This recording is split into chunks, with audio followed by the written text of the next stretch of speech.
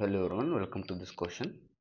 Equilibrium constant K for the reaction 2HI gives H2 plus I2 at room temperature is 2.85 and that at 698 Kelvin is 1.4 into 10 power minus 2.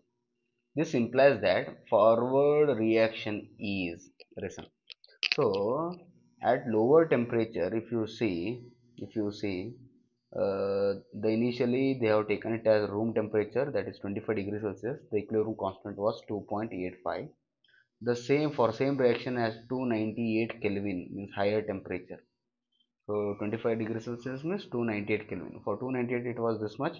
And at 2 698 kelvin the k was 1.4 into 10 to the power minus 2 from this you can understand that this uh, equilibrium constant with rise in temperature it is decreasing.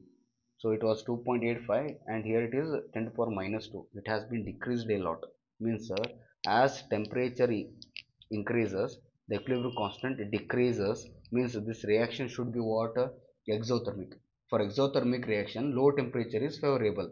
If temperature is high the exothermic reaction starts shifting towards backside.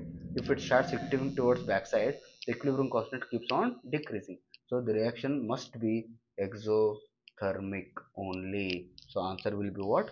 First option. Thank you